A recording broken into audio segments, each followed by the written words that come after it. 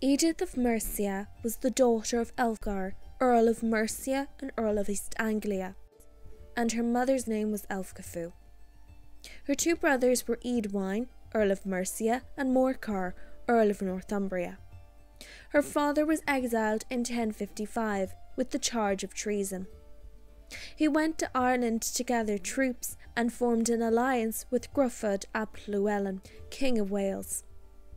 Aelfgar and Gruffudd invaded England. Eventually, peace was made, and Aelfgar succeeded his father as Earl of Mercia. Edith married her first husband, King Gruffudd ap Llywelyn. She was given some land in England upon their marriage. They had two sons, Maredudd and Idwal, and a daughter named Nest. In 1058, Aelfgar was outlawed again and was then restored to his office. He died around 1063 when Harold Godwinson invaded Wales. Gruffudd was killed in this event.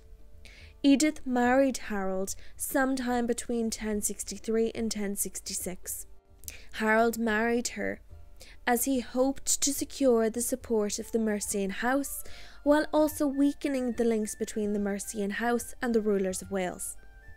Their marriage produced one son named Harold. They were not married for long, though. In January 1066, Harold was proclaimed king, and by October he was killed in the Battle of Hastings. William, Duke of Normandy, took the English throne. Upon hearing of Harold's death, Edith's brothers took her to Chester for shelter, and it is unknown what happened to her afterwards.